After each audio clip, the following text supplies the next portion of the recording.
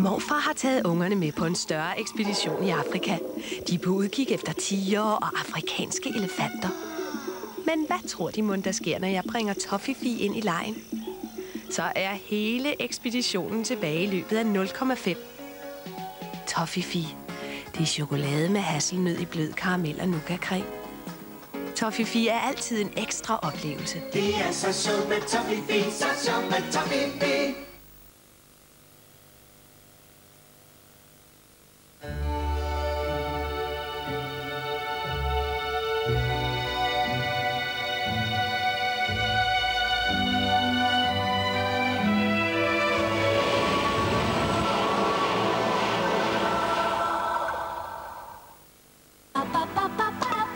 Nu er der en ny Absolute Music. Absolute Music.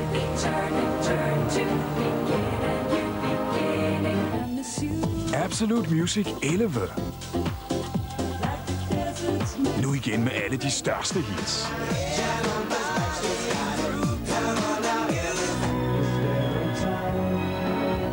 Spørg efter Absolute Music. Eventyrmusicalen om H.C. Andersen.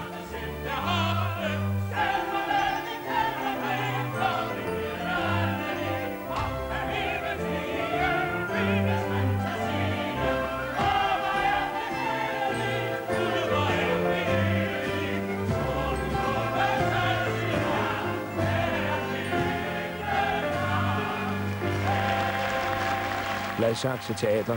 Stort teater. I mit arbejde er der ikke tid til at ordne håret i løbet af dagen, så jeg har brug for en hårspray, jeg kan regne med. Før blev mit hår tit glansløst af styling, men ikke med den nye Pantene. Sprayen fordeles mere jævnt i hele frisyren, mens Provitamin B5 trænger ind i håret. Nu er jeg sikker på, at frisyren holder fra morgen til aften, og at mit hår ser sundt og glansfuldt ud. Ny Pantene Pro V-spray. Styling som holder. Giver sundt og glansfuldt hår. Jeg har altid ment, han kunne skrive, men han ville hellere cykle. Jeg har gemt en af hans stile fra 8. klasse, og den starter så smukt. Jeg er en ørn, der flyver om kap med solen. Han kunne være blevet en stor skribent, men han ville åbenbart ødelægge sin karriere og cykle i stedet for. Nu skriver Bjarne Ries i BT. Op til og under Tour de France. Du får flere sider af livet i BT. Jeg har 10 sekunder til at meddele, at nu er der stjernetegn på Fortuna-lårene. For en tiger kan du se, om der er held i dit stjernetegn, og vinde op til 25.000. Ah, det kunne du godt have gjort bedre! Nybolig indfører nu Sælg og find. Du sætter dit hus til salg hos os, og straks går vi i gang med at finde din nye bolig. Vi sender breve ud, vi annoncerer, du kommer i køberkartotek, indtil vi har fundet din drømmebolig. Hos os er den gode sælger nemlig også en god køber. For hos Nybolig, her handles. I Rock Classic-serien kommer nu Rock Ballads.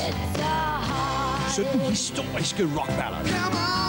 Et album med musik, der forbliver evig ungt. Rock Ballads. Hjertevarm rock. Ah, ah, og hockey.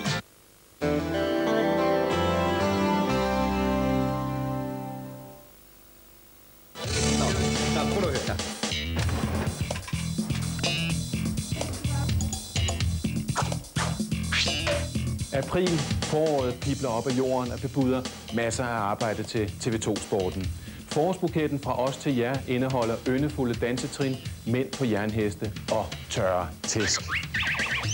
Vi lægger ud med EM i boksning, hvor Mehmet Araslan, Thomas Damgaard, Brian Lenz og Hassan Al skal slå et slag for Danmark. EM i boksning fra den 3. til den 7.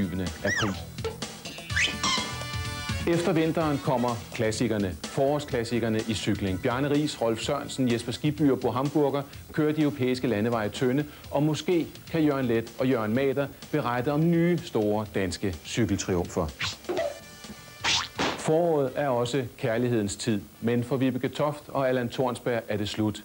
I forbindelse med DM i Latin for professionelle danser de af og forlader hinanden. Nyd dem sammen for sidste gang lørdag den 13. april. Paul Erik Højer er nykåret over Englandmester i badminton. Sammen med Camilla Martin og alle de andre danske verdensstjerner har han mulighed for at vinde mere heder til Danmark, når der afholdes EM på dansk grund. Nu er sportens forårsblomster her på TV2.